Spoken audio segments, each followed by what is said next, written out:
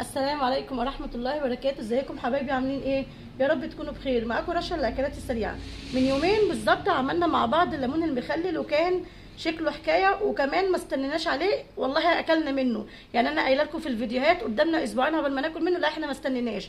النهارده بقى جاية لكم بالزيتون. معايا نص كيلو من الزيتون زي ما أنتم شايفين كده. غسلاه ومنضفاه وخليها كويس قوي زي ما أنتم شايفين كده. ومعايا شوية جزر بشراهم.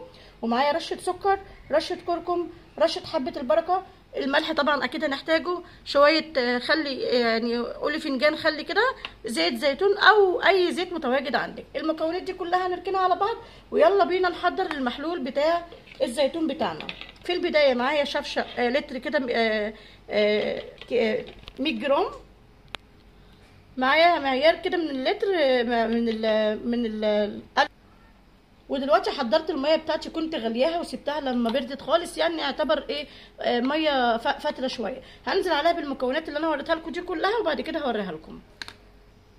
حبايبي وزي ما أنتم شايفين كده نزلت بالخل ونزلت. بال... بحبة البركة زي ما أنتم شايفين كده. تمام؟ ونزلت بالكركم ودلوقتي معايا الجزر. أنا مش هاخد الكمية دي كلها هاخد بس منها حاجات بسيطة كده. تمام؟ قلبي بقى كويس جدا. طبعا لسه ما حطيناش الملح.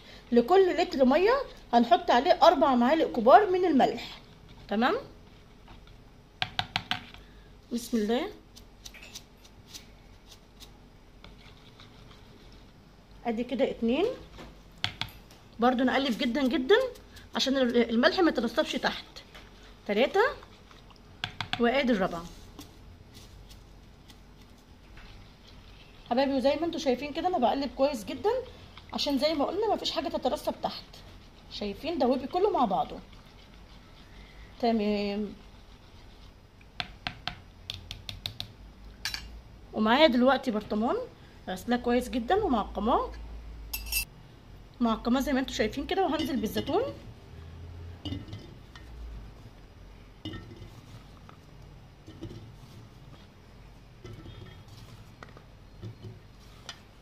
إحنا يعني عاملين على قدنا لأن إحنا مش يعني إحنا أربع تنفار بس اتنين صغيرين وإحنا وزوجي فمش يعني بيقعد عندنا حبة كتير. هنزل بقى بالمية دي كلها المحلول بتاعنا. بسم الله الرحمن الرحيم شايفين؟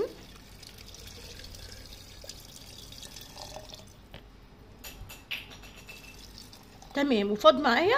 وبعد كده هروح حاطه له شوية زيت زيتون أو زي ما قلت لكم اي زيت عادي. المهم ان هو بس بيديله لمعة.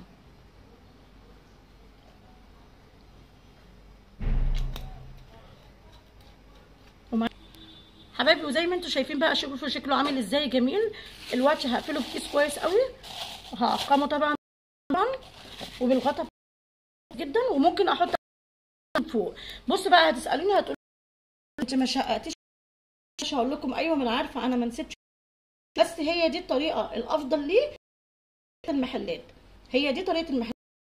سالت واحد بتاع محل و... يعني من, من كده إن أنا مش بلاقي الزيتون كده. قال دي أفضل طريقة. هتعجبكم إن شاء الله ومش هي كتير. يعني لما بنشقق الزيتون كل وأنا كمان كنت بشققه عرفت الطريقة دي ما بقتش أشققه خالص. تدعوا إيه رأيكم؟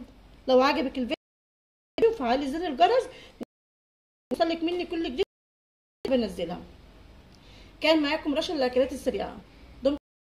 السلام عليكم. وبركاته